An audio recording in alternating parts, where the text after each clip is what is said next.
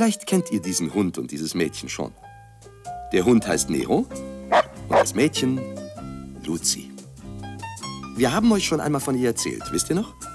Dass sie die Ferien bei ihrem Großvater verbrachte und, ach, da ist ja ihr Großvater, ein Kurarzt im Ruhestand. Ach, äh, nein, nein, Verzeihung.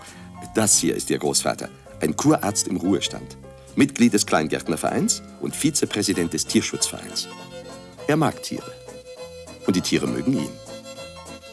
Seit Luzi bei ihm ist, hat er in diesen Ferientagen alle Hände voll zu tun. Das hier ist Luzis Papa.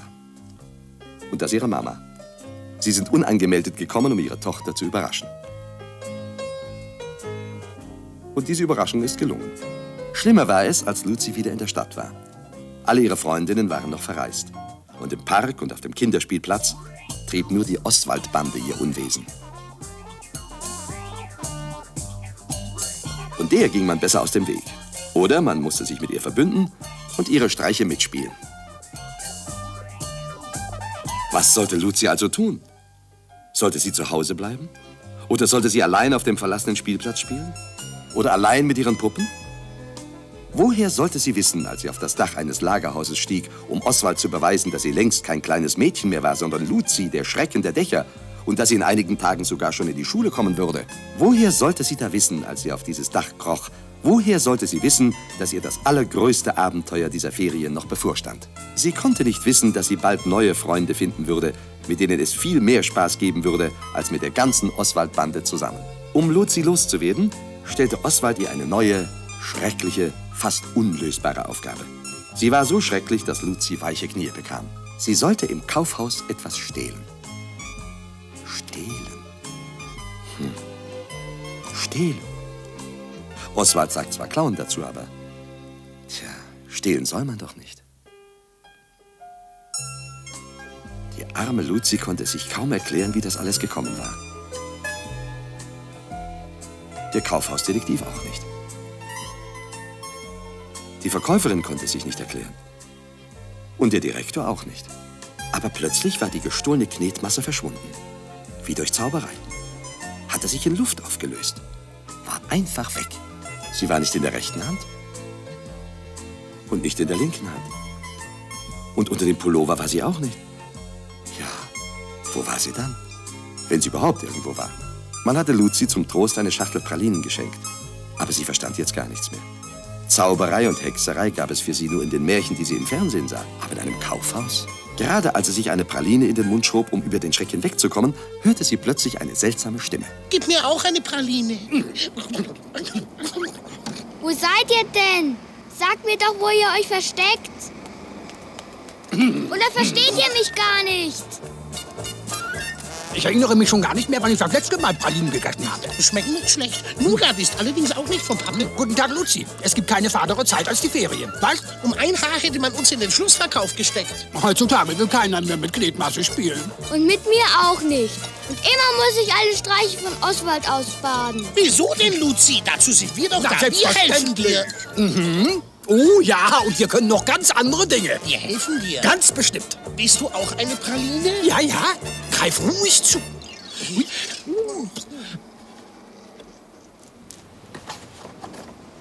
Weißt du, solche Pralinen essen wir am liebsten. Mit uns hast du viel Spaß. Eins,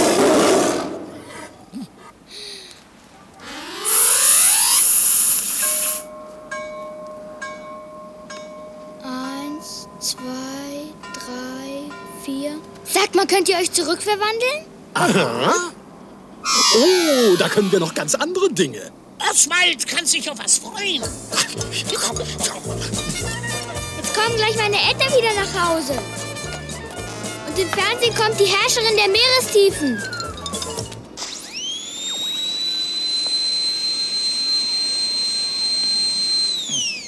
Rolf, pünktlich wie ein Preuße. Du solltest öfter mal auf die Uhr sehen. Ist der Mann normal? Wie ein kleiner Junge.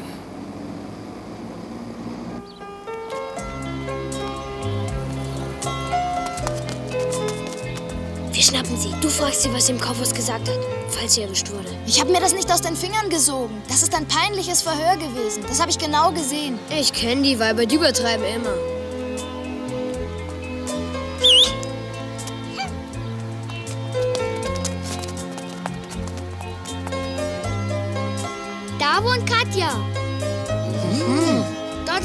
Spielplatz, dort spielen wir.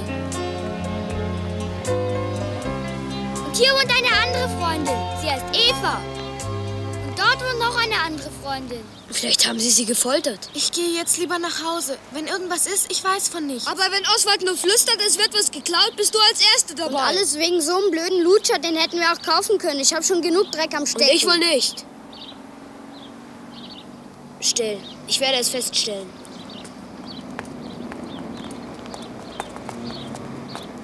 Du im Kaufhaus irgendwas ausgequatscht hast.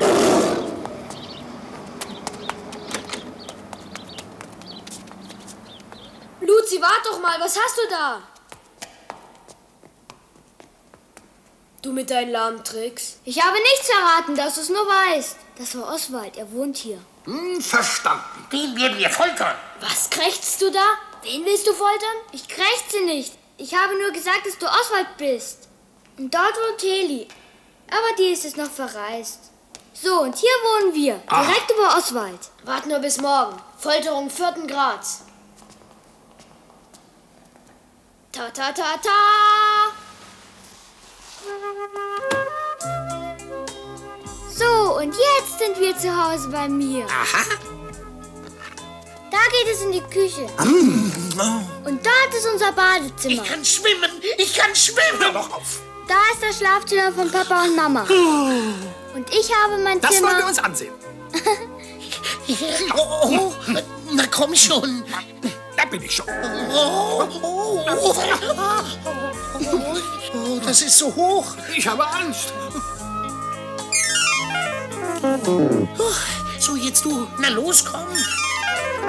Hast du geschafft. Ja.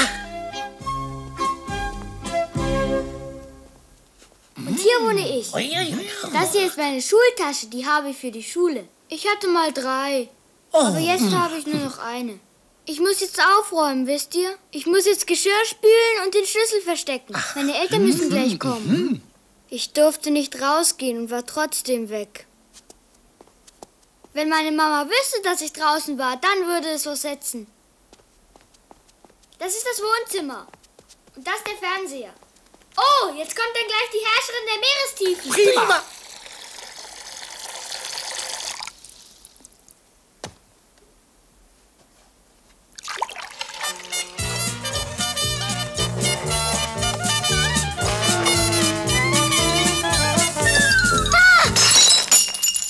Ha, Das habt ihr fein gemacht. Jetzt ist der Teller kaputt. Wir wollten dir nur helfen, Luzi. Ach, mach dir keine Sorgen, der wird wieder heil. So, jetzt pass mal auf. So und so. Was sagst du jetzt? Oh, wir können aber noch ganz andere Dinge.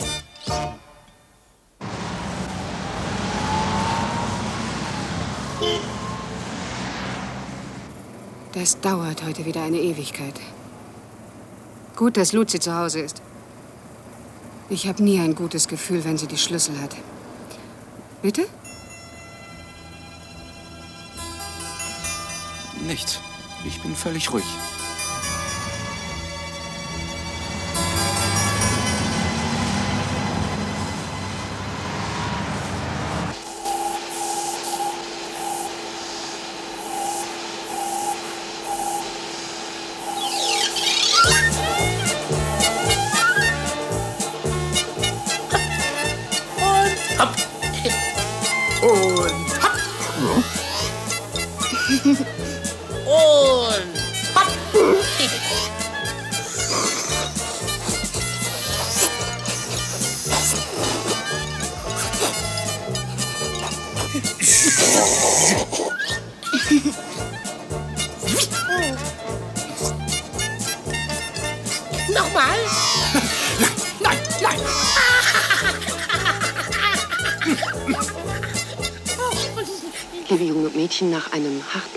Mit der Riesenkrake und nach der Entdeckung des Aufhören jetzt, der ich Meere brauche Ruhe. segelt die Herrscherin aller Meere neuen Abenteuern entgegen. Heute zeigen wir das Geheimnis des Korallenriffs.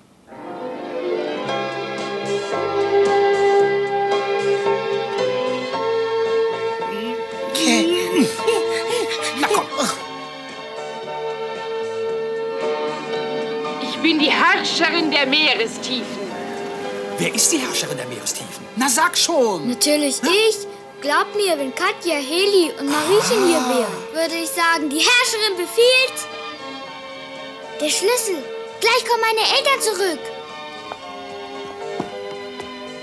16, 16. Ich weiß nicht, wie eine 16 aussieht. 16. Tja. Und deswegen versäume ich jetzt die Herrscherin der Meerestiefen. Tja, tja, tja. 16! Es geht weiter, es geht weiter. Ich bin die Herrscherin der Meerestiefen.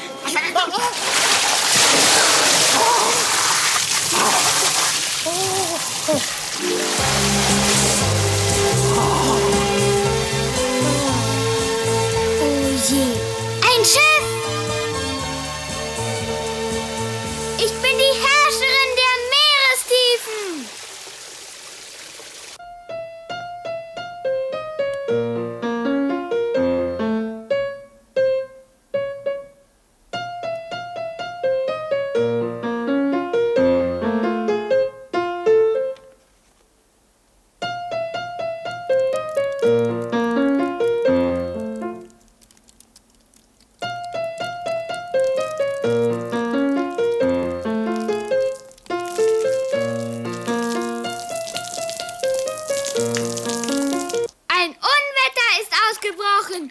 Ein schreckliches Unwetter! Also los, rette sich wer kann! Du hast ein bisschen übertrieben. SOS!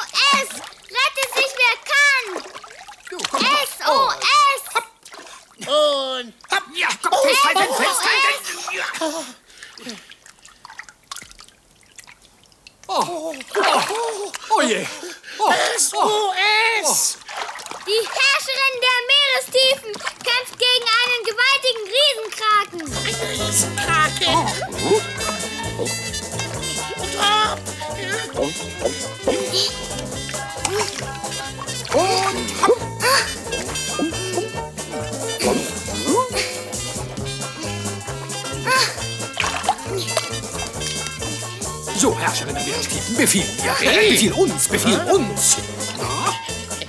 Befiehl uns. Ich ergebe mich nicht, du scheußlicher Krake!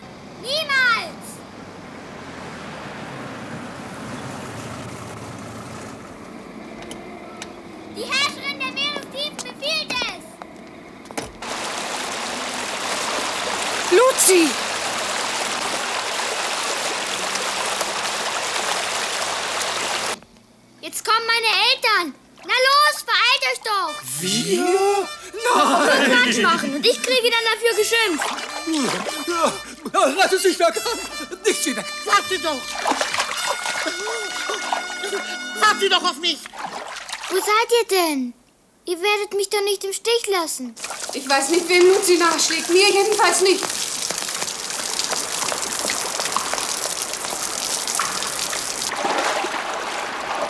Tut mir leid, dass ich Luzi verdächtigt habe, aber das kommt ja aus Oswalds Wohnung.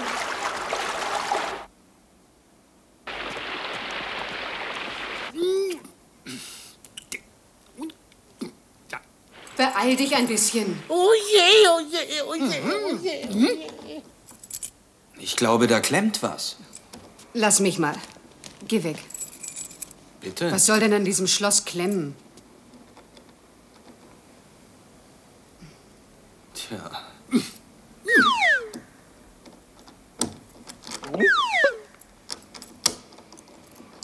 Das war das Geheimnis des Korallenriffs. Die Und du? Was willst du hier? Fischlein. Um 18 Uhr. Ich verstehe das nicht. So ein wohlerzogener Junge. Er spielt Klavier und setzt dabei das ganze Haus unter Wasser. Das passt irgendwie nicht zusammen. Er ist ein Lausejunge. Hallo Papa! Hallo Mama! Guten Abend. Wie geht's der Herrscherin der Meerestiefen? Haben die Haie dich noch nicht Nein, verschlungen? die waren heute nicht dabei, nur ein Fisch und eine Riesenkrake. Wo du hintrittst, ist es nass. Naja, Ja, Luzi. Hast du aber schön aufgeräumt. Sogar das Geschirr hast du gespült. Komm her zu mir, mein Liebling. Komm her. Du bist ja ganz nass. Und diese nassen Fußspuren. Bist du unten bei Oswald gewesen? Nein. Ich muss dir das der Reihe nach erzählen. Also zuerst habe ich Geschirr gespült. Aber dazu muss man sich nicht von Kopf bis Fuß nass machen, Natürlich nicht. Aber dann habe ich ferngesehen, dann habe ich gebadet und bin geschwommen. oder? Gebadet hast du? Angezogen? Ausziehen. Und zwar alles. Und heute gibt es kein Fernsehen mehr. Wie kannst du in den Kleidern baden? Vati! Vati! husch, husch, husch, husch. Erzählst du mir noch ein Märchen? Nur wenn du brav bist. Ich bin doch immer brav. Was ist denn das schon wieder? Ein Fischlein. Es gibt heute kein Märchen. Diese ewigen Tauschgeschäfte. Vor einer Woche hat sie eine Puppe gegen einen Ring eingetauscht. Gestern hat sie zwei Knallerbsen und eine Schleuder mitgebracht. Jetzt möchte ich wissen, mit wem sie diesen Fisch getauscht hat. Obwohl sie keinen Wohnungsschlüssel hatte. Oder hat ihr vielleicht jemand einen geliehen? Woher hast du denn diesen Fisch? Aus dem Meer, woher sonst? Lüg bitte nicht auch noch. Ich lüge nicht, ich habe kein Wasser laufen lassen. Und die Überschwemmung kommt von allein. Ist von der Decke runtergetropft. Erzähl kein Quatsch. Von der trockenen Zimmerdecke. Mach nur so weiter.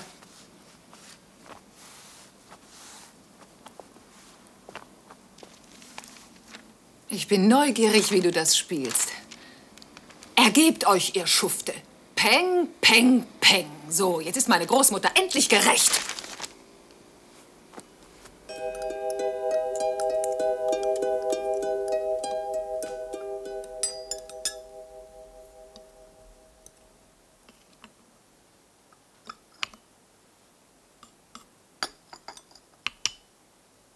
Hörst du das?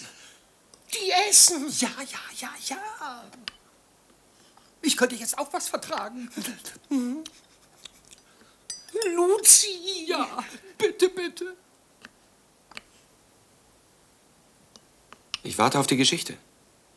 Wie war's also? Wie ich es gesagt habe. Zuerst habe ich das Geschirr gespült. Mhm.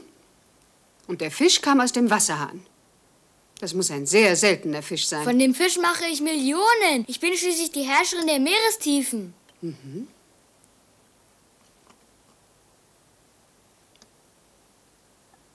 Also, was ist? Na.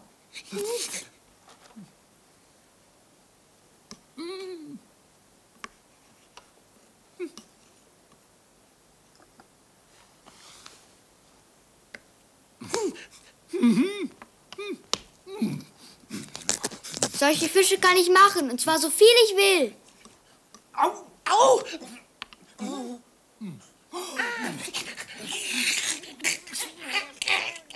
Jetzt seid nicht so blöd, ihr macht uns alles kaputt. Du vergisst wohl, mit wem du hier sprichst. Wer macht denn alles kaputt? Wir? Entschuldige dich bei Mami. Ich bitte um Entschuldigung. Gut. Ja, ich weiß schon, Zähne putzen. Gute Nacht, Papa. Schlaf gut. Gute Nacht, Mami. Gute Nacht.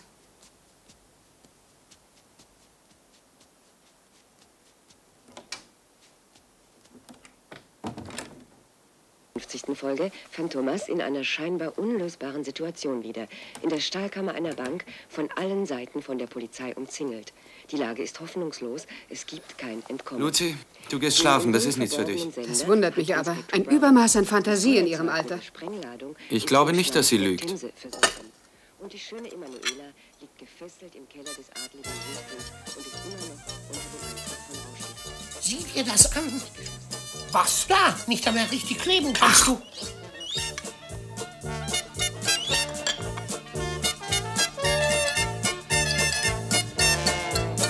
Wahrscheinlich bin ich überarbeitet.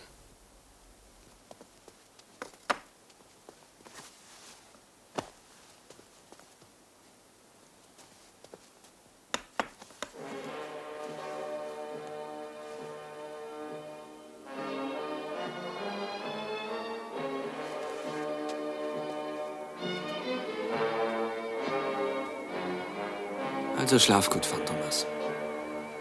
Gute Nacht, Papi. Und hopp, die Bupp, die Wupp, die Bupp, die Schnuppe, die Bupp, die Wupp. Die Betten hast du doch für uns hingestellt, oder? Dann bist du uns jetzt also nicht mehr böse. Nein, ich bin euch nicht böse. Aber jetzt kommt im Fernsehen die neue Folge einer Serie, die nur für Erwachsene ist. Und ich habe keine Ahnung, wie sie ausgeht. Das letzte Mal habe ich ein Stückchen gesehen mit diesem Phantomas. Da ist er einfach über die Stadt geflogen. Eine Kleinigkeit. Hm, hopp und hopp. Komm. Ja, ja, ja. Na los. Entschuldige.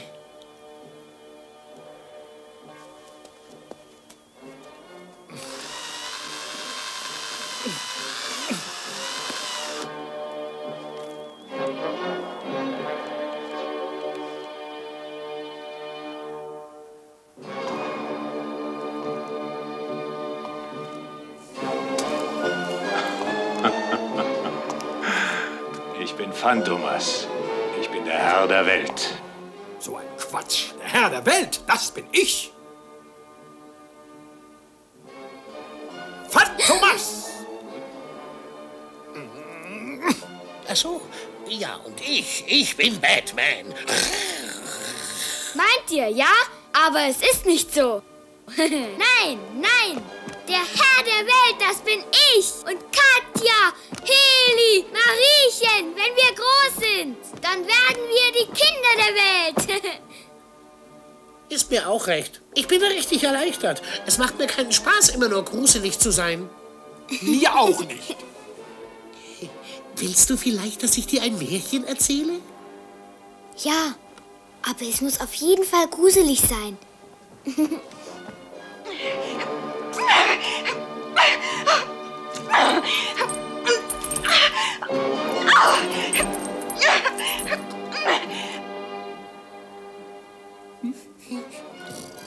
Oh.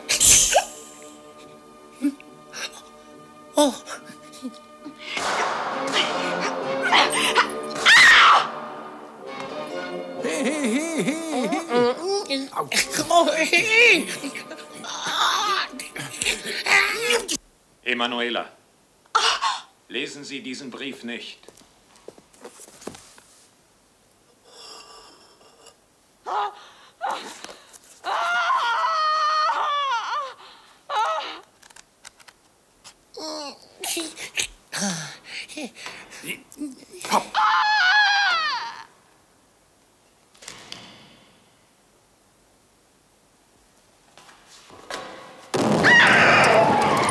uns nicht entkommen. Es ist Phantomas. Stoppt schwarzen Rolls-Royce BN 27-3.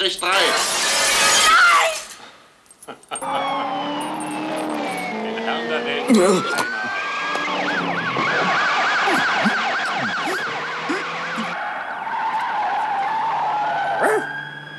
Das verstehe ich nicht.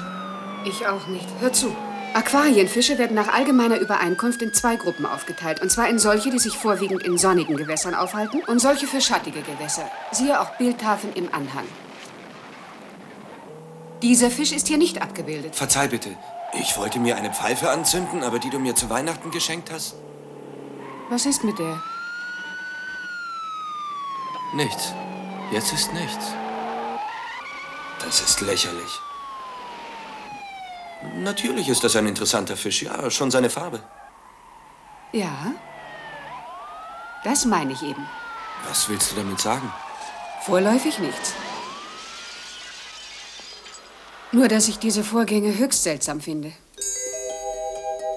Solange Katja und Heli hier waren, ist nichts passiert. Jetzt, wo sie alleine hier ist, sogar ohne Wohnungsschlüssel, taucht hier plötzlich aus dem Nichts ein Fisch auf, den es überhaupt nicht gibt.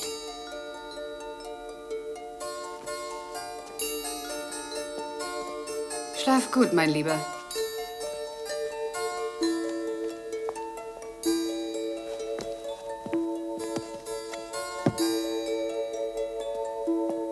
Ihr beide, du und Luzi und eure armseligen Scherze. Phantomas.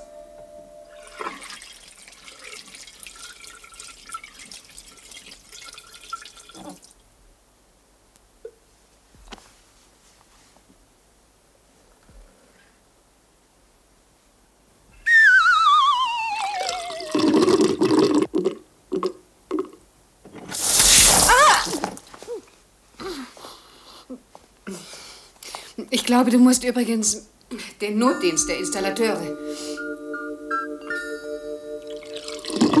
Ich war hier, Phantomas. Welcher Phantomas?